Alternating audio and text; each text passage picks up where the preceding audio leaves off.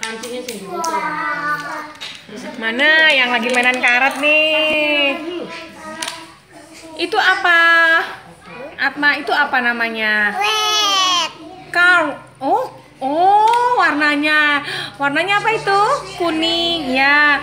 Tadi Mbak Putri warna apa itu Mbak Putri?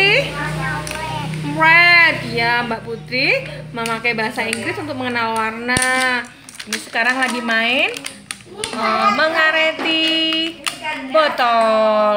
Kok mengareti botol ya? Hmm, kita tanya dulu ya sama Bu Yani, kenapa kok anak-anak itu kok mainannya kok mengaretin botol ya? Bu Yani kok mainnya mainan karet kayak gini nih kan eh, kayaknya biasa banget gitu loh. Ini tujuannya apa ya? Bermain karet. Ah, sepertinya sepele ya ini ya biasa ya. Oh ya, nih. Salah satunya untuk melatih anak-anak membedakan warna. Tadi yang warna merah mana? Mana yang merah? Oh, merah. Oh, itu merah ya, Bud ya? Ada lagi merah. Selain warna merah, selain merah warna apa lagi? Selain merah ada warna apa lagi? Bud, ada warna apa lagi? Warnanya asik ya. Nah, selain anak-anak mengenal warna, di karet ini ada tiga warna, merah, hijau, dan eh, kuning kecoklatan. Warna? Green atau hijau.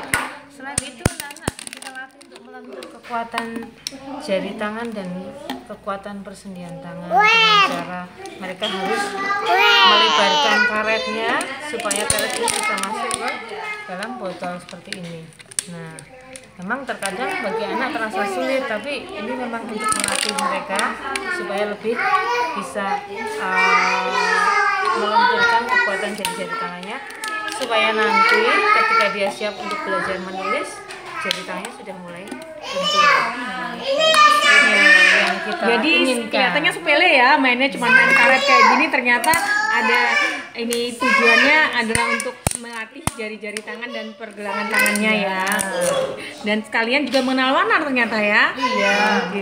Jadi sekali merengku dayung, dua tiga pulau terlampaui. Oke, makasih Bu Yani. Mudah-mudahan nanti ketika anak-anak siap untuk menulis, anak-anak bisa. Oke, makasih.